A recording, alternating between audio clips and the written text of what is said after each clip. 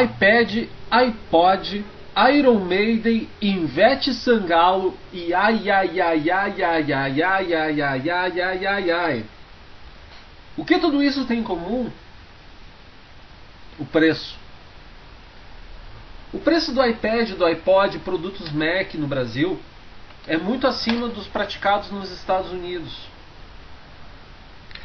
Muitos vão dizer que a culpa é da carga tributária brasileira, mas não só isso. A política de preços da Mac é determinado a partir da uh, matriz norte-americana. Chegou, por exemplo, o iPad está chegando no, na Europa pela o, mais, o modelo mais simples de 16 GB por 479 euros, enquanto é vendido por 460 dólares em média nos Estados Unidos, ou seja, para a Europa custa quase o dobro. No Brasil, quando essa novidade chegar, com certeza vai custar muito caro. O iPhone 3G nos Estados Unidos agora tem sido vendido pela faixa de 97 dólares, enquanto no Brasil custa em torno de 600 reais um modelo pós-pago. Como eu disse, a carga tributária brasileira não é determinante nesse caso. O que é determinante é a política internacional da empresa que procura em países como o Brasil elitizar e ganhar mais dinheiro sobre esse produto, popularizando na sua matriz. Talvez isso tenha algo a ver com capacidade de produção. Em alguns países eles priorizem a venda em massa, como no caso dos Estados Unidos, e nos demais elitizem para obter mais lucro, já que não tem capacidade de produzir mais do que a demanda. Só que nós estamos pagando bem mais do que o produto custa na verdade. Ou seja, nós estamos gerando um lucro bárbaro para essas empresas. Além, é claro, dos impostos nacionais que nós pagamos. Fora isso, temos o Iron Maiden, Ivete Sangalo e o Ai Ai Ai Ai Ai Ai Ai. O vocalista do Iron Maiden, recentemente, uh, criticou o preço dos ingressos praticados no mercado internacional de shows. Shows como Iron Maiden, como uh, Black Sabbath e outros estão muito caros.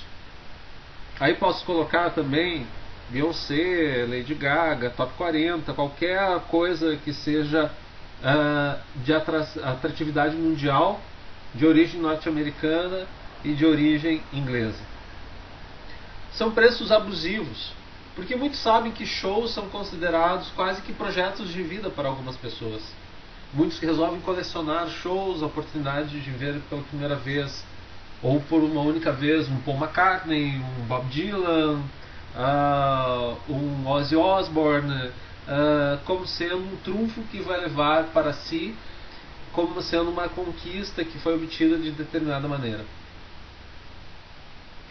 Em troca disso, são cobrados preços absurdos e o índice de lucro é muito alto.